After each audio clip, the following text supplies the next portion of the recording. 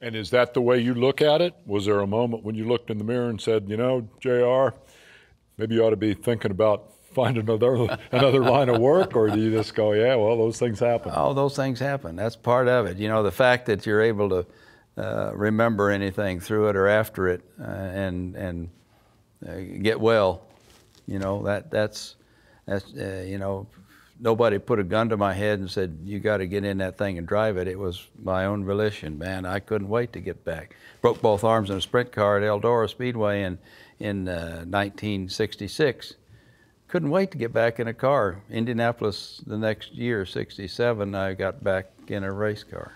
It's one of the most famous photographs in sprint car history, and it reminds me, someone once told me that you, re- you find out who your true friends are when you've got both arms in a cast. Is that true? that is true.